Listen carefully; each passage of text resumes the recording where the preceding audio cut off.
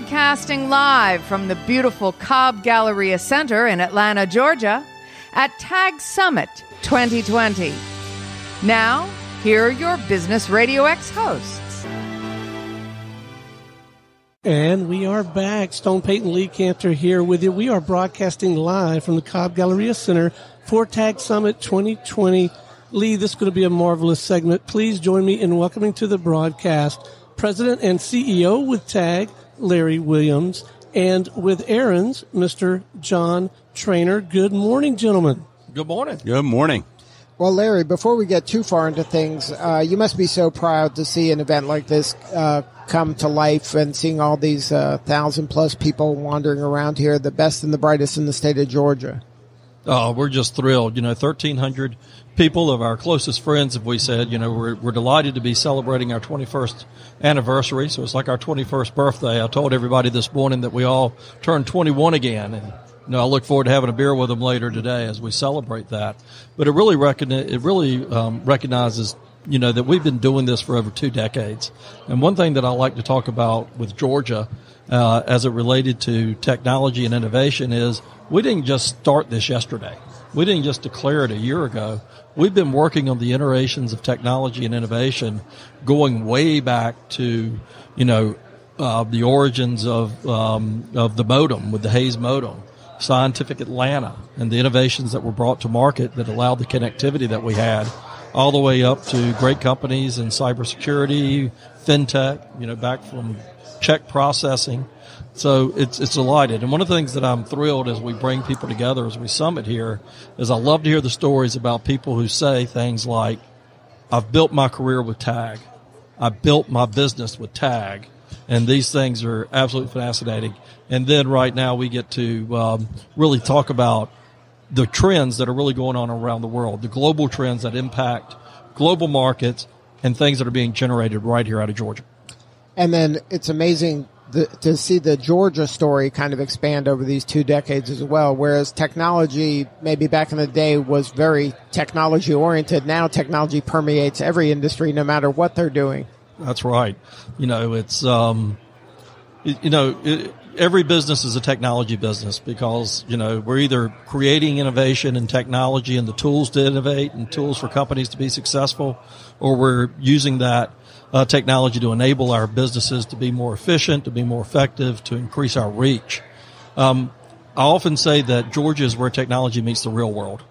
And what I mean by that is that Georgia is, you know, we don't always attract the shiniest new gadgets or the newest social apps, but we have more companies using technology to drive revenue than anywhere else.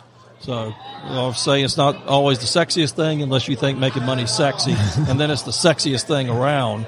And we do things, you know, it, and it's fintech. It's the often used quote that we have: seven percent of all debit, credit, and reward card transactions are processed through Georgia. Um, we've got a new stat. 80% of all commercial cryptocurrency transactions are now being processed through Georgia. And that's a global number. And that's us keeping up with the trends. It is about, you know, the network access, you know, um, with the telecommunications, but also with the great other industries that, again, might not be the forward looking brands. Some of them are, but that's what happens in Georgia. We're doing the, at Stone likes to call this the green dollar ROI part of the it, the internet and the technology world. We're focused in on the, the things that make money and help people make more money. And uh, maybe we don't have that sexy uh, firm that gets on the cover of magazines, but we get the ones that are getting the work done all around the globe. That's exactly right. And so it's a great time to be in Georgia. It's a great time to be here at the summit because we've got, you know, great people here that are getting connected, that are continuing to engage with each other. And you know, I've always believed that business finds a way. So if we get the right people in the right room together, they will figure out a way to do business together. Right. The theme of this year's summit is engage, innovate, and transform. And you can see that just the people walking around right in front of us. So now, um, when you're you're kind of pitching Georgia to companies outside of Atlanta and uh, Georgia as a whole, what's the pitch to get people excited about coming to Georgia? Maybe relocate their firm Well, you know, How important is tag to that uh, conversation? You know, we're always uh, happy to partner with our friends in economic development at, sto- at the state and local level What as they're attracting people here. A lot of it is, you know, it's their job to attract them here. It's our job to keep them here. And so part of the pitch, the pitch is, um, well, obviously one of the highest value, best global talent in, you know, is right here in Georgia. We have world class talent coming out of a great university, some of the smartest people, some of the most loyal talent as well. So um, that's very important. Great business climate, you know, our tax structure, our our willingness to let uh, companies succeed and thrive here is extremely important.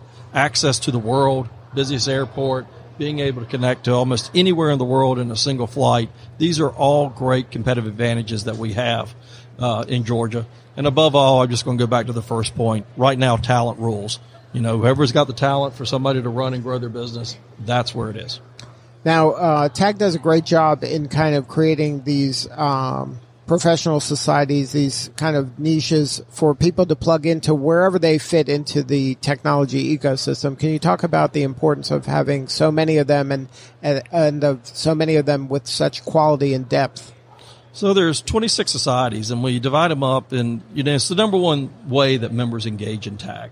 So got over 30,000 members. We've got to break it down so people have an opportunity to get engaged. And so think of our 26 societies either in the bucket of industry, function, or people. So the industries that lead, you know, uh, cybersecurity, digital health, fintech, those are example of that.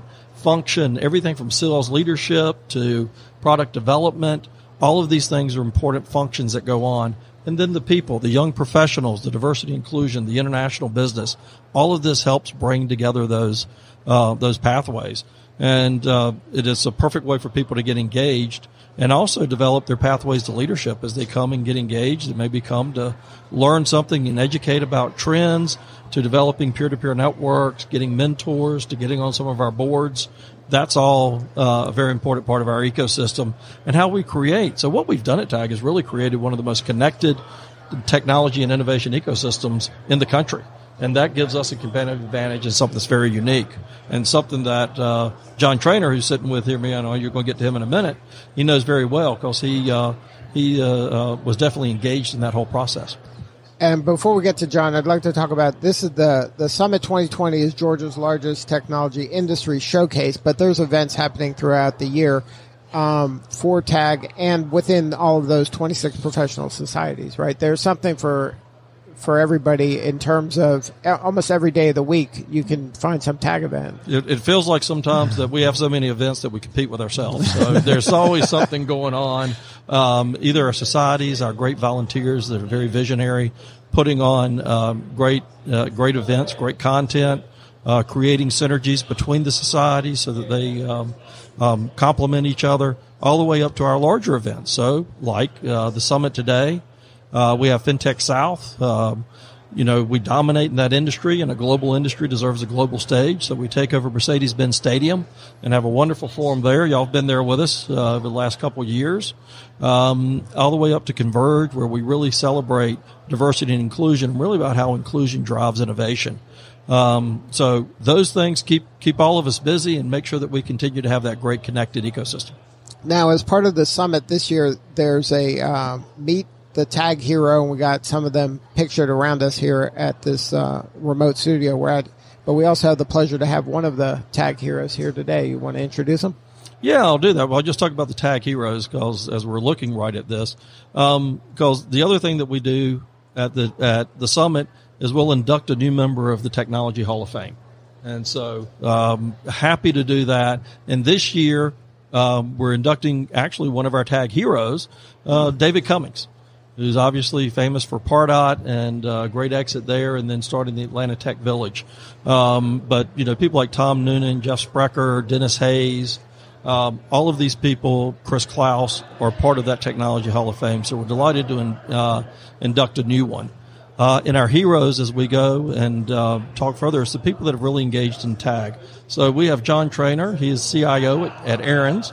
He's a board member at TAG one of our great leaders. Been engaged for, for a long time. And John, I'm just delighted that you could join us here today. Yeah, it's great to be here. I I will say that um, it's incredibly embarrassing to be called a tag hero only because I think I've gotten so much more out of tag than the limited amount that I've put in. And so, um, it, it's great that we're recognizing people, but I really think that the hero here is the organization. I was, uh, chairman for the committee for the summit a couple of years, a few years ago and it was child's play what we did versus the quality of the content here, the scale, the magnitude, the value that it's bringing into Georgia, Atlanta, and the area. Uh, and so I, I, think really, really tags the hero here.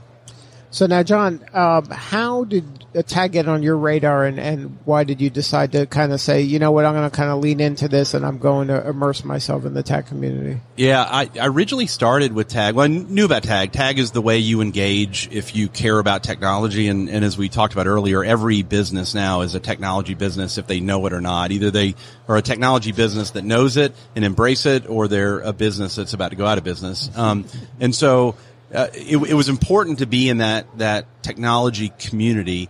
Uh, I was approached to help with the early beginnings of what we called the Mobility Society, which was to figure out how to embrace mobility both from an enterprise and a consumer perspective and make that a bigger part of the ecosystem. And it's one of those foundational societies that spans across all the other societies because of the, the nature of it. And so I got involved in the ground floor of that, got to meet some incredibly good people and then just progressively got tricked into doing more and more and more. Um, I, I, think the the year that I served as tag board chairman, uh, somebody just started people started congratulating me for uh, being board chairman, and I didn't know that I had accepted it. So I think I think uh, it, it's been a phenomenal experience, and and as I said before, I've gotten so much more back. Uh, the reason I do it is to learn and to grow. It's part of it is to find out who's out there that you can trust that will you can do business with people you can partner with. Um, so many people when i need to solve a problem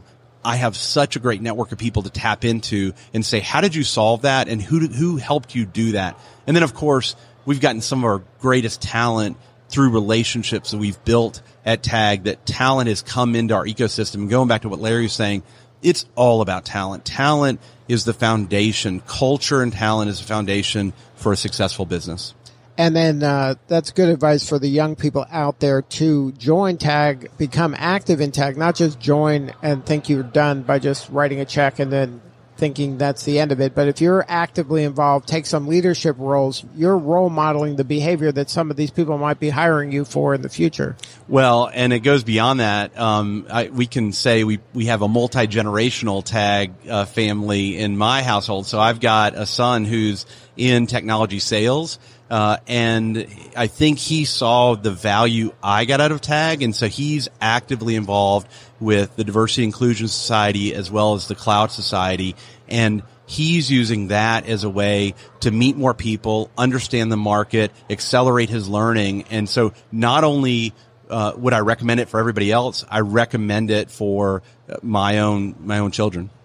Now let's talk a little bit about the diversity and inclusion uh, element of TAG. Why is that so important for TAG to kind of be actively involved in that space? Well, I, am sure Larry can talk to this. I can tell you as an employer, um, if you are not actively pursuing everybody in every walk of life, you are missing so many opportunities to learn rapidly, to develop, to grow, to understand your customer. While it's true that we're we want to make money here. The way you make money is through phenomenal customer experience. And if you can't put yourself in the shoes of other people, you will not create a great experience. And so uh, I'll turn it over to Larry because he, he probably can cite more examples, but it is vital that you make sure you have a diverse and inclusive team. Now, Larry, can you talk about that a little bit? By all means, uh, when we look at the demand, and uh, I gave an example earlier that there's going to be, you know, in the next, you know, several years, there's going to be about a demand for about another 1.6 million uh, technologies just in the cybersecurity space for us to meet the challenge that we have. It's all hands on deck, and it's a challenge that all of us have to do, and we all have to collaborate on. Um, there's access for everyone and there needs to be pathways for everyone to be able to engage in the great prosperity that we're having in the technology sector. So that's just one sort of the business driver. The other part is that you know, we talk about diversity and inclusion, but it's the inclusion part that drives innovation. That's sort of the secret sauce. How do you actually engage people um, of different walks of life uh, that come from different backgrounds, um, but also have different perspectives or different ways of approaching problem solving? Engage them in a way that they're effective and that you benefit from that great uh, thought process and diversity of thought. So that's the inclusion part. And so that's why it's extremely important is to meet the demand, get the best thinking, because what we're doing today, the tools that we use today are, are not going to be in existence today. Duncan Wardle, who was the keynote that just got off stage, did a wonderful job of talking about how, you know, by 2030, we're going to be printing a lot of the things that we build today. We'll be 3D printing them in our homes. Chairs, clothes, tables, things like that to the point that he goes to the, you know, might be a bit extreme, but saying that, you know, hammers, screwdrivers are going to be obsolete. So if you go mm-hmm. that far, you got to think about the people that are thinking about what the next tools are and how they're going to engage with the tools that are available, or even coming up with a, that next generation of ingenuity, as I call it, about what the tools that we're going to need to be able to succeed. So that's really about the visionary, the inclusion, the diversity of thought, and meeting the challenge of today that's so important to us. Now, uh, can you talk about how uh, TAG helps this kind of public private intersection where a lot of the stuff we need business drives, but we also need cooperation with the government regarding regulations and infrastructure that gives us a good foundation so that we can be these innovative thinkers and, and create the innovation for tomorrow? Yeah, there are a couple things on that that I that I'll talk on, and it's great to have uh, good public sector partners that can help us uh, enable this. One is making sure that we have a great business climate. Uh, so Georgia is proud to be um, um, number one place to do business in the United States seven years running. No state has ever achieved that. That is a great, great talking point for us, and something that we it's because we believe that we need to have a government that lets uh, business thrive. Um, the other part is uh, you mentioned um, infrastructure.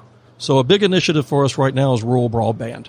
We need to be able to get connectivity outside of the metropolitan area.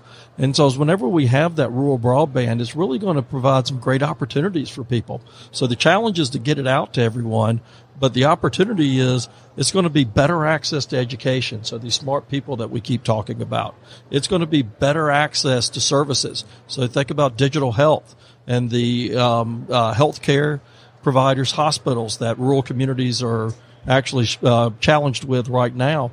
Think about the opportunities of entrepreneurs to create new businesses and being able to uh, stay outside of this core area. We have in the next 10 years, there will be 3 million new Georgians. 3 million new Georgians. So we certainly don't want to be, you know, at 75 and 85 at 430 with 3 million more people on there. We want to be thinking about how that we can expand um, our footprint and make sure that there are, op- there are opportunities for, for everyone else. That's also going to bring opportunities in how we approach smart cities, how we approach uh, smart communities. How are we managing our road systems, our light systems, our metering, our water metering, our, uh, our, our, our uh, electric grid? and other utilities. So these are great opportunities for Georgia to lead. Um, the last thing that's very important for us in the uh, public-private partnerships that we talk about is education. And we're extremely proud of what we did last year working with uh, our state um, uh, lawmakers to actually provide legislation where computer programming will be offered in every Georgia high school just like a language. You can take computer programming wow. by 2025.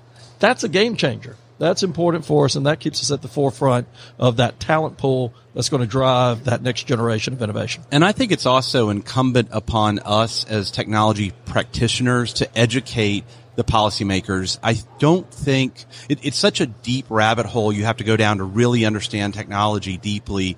And in policies can only scratch the surface of that. And it's up to us who live and breathe it every day to do that. And unfortunately, a lot of and I'll, I'll say why George is different here, but a lot of policymakers don't have that deep technology background. You rarely see it. I, I worked for a United States senator uh, about 20 years ago, and he wanted to understand. He didn't have that background, and so Senator Paul Coverdell would sit with me uh, once a week for 30 minutes and have me walk him through how to use his computer more effectively. And that was him trying to bridge that gap, and I think that's our responsibility. Now fast forward to where you need to understand cryptocurrency with uh, blockchains and proof of stake versus proof of work and, and the regulations that have to go along with that. And it's really difficult to, to get that. Now, Georgia just got very fortunate in that we have Senator Loeffler, who is someone who understands the blockchain and understands cryptocurrency and digital uh, transactions like that. So it's it's happening, but it's our job to educate and and make sure that we embrace that divide that would normally be there. Right, and technology moves so rapidly, government tends not to, and uh, government maybe sometimes is a blunt instrument. They don't understand the unintended consequences of uh, you know of certain legislation. Yeah, very true. But it can be, but I think I forgot to get a in. We got some forward-thinking legislators in the state, and that's something very proud of. And also our university system of Georgia. Um, the private sector went to the University of System Georgia recently and talked about the needs and demands of careers within the fintech space. Um, they reacted very, very quickly. So uh, within about 18 months, uh, the University of System of Georgia has started the FinTech Academy and has already rolled out a curriculum for FinTech at 16 campuses, and it'll soon be at 26 campuses across the state. That's nimble, that's reactive, that's meeting the needs of business, and that's a great partnership and great examples of how um, this public part, private partnership can continue to work. And, and since I've been involved in TAG the past few years, I have seen tangible examples of where uh, TAG will be looked to as an expert by the policymakers, by the General Assembly, and TAG will inform this is what's going to help create a more technology savvy workforce or a better business climate for companies that want to leverage technology. And the, the General Assembly has listened and made sure that those were enacted in the right ways. Now, any advice for emerging cities that are out there um, to kind of take the best of our learnings here in the state of Georgia? Is there, you know, to have a tag at their disposal? Not every state has a tag or um, can maybe even create a tag, but to have that kind of uh, cooperation and collaboration between the business community, the public sector, education, everybody involved, it, it, it takes kind of a mindset shift for a lot of um, municipalities. How would you recommend them going about at least taking baby steps in that area to get something like this going? Because this change is happening whether you want to deal with it or not. So you better be ready for it. And I think that Georgia is uniquely positioned to really leverage some of that. Yeah, I think you know there is a um, many states do have a technology association. Most of them aren't to the well, none of them are to the scale that TAG is.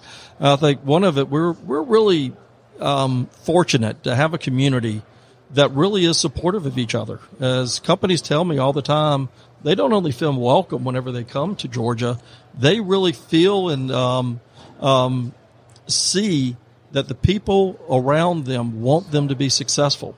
They engage them, they introduce them. They want to make sure that people know that we're here to be supportive because their success is our success. And that's, it's, again, it's not just words. They see it, they feel it, and they uh, they're encouraged by it. I think for some areas it's hard for them to get past that hump, and I think that you know I think it, go, it it's a it's a benefit of our southern sensibility. Sometimes we are welcoming. I say sometimes we suffer from it because we're not the big braggarts that a lot of people are. It's sort of that old adage that, you know, I'm just a Southern lawyer. I'm about to eat your lunch, but I'm just a Southern lawyer. And that's where we are in a lot of our technology as well. But we certainly uh, have a welcoming environment. And again, those other areas, a lot of them are just trying to figure out how to work together.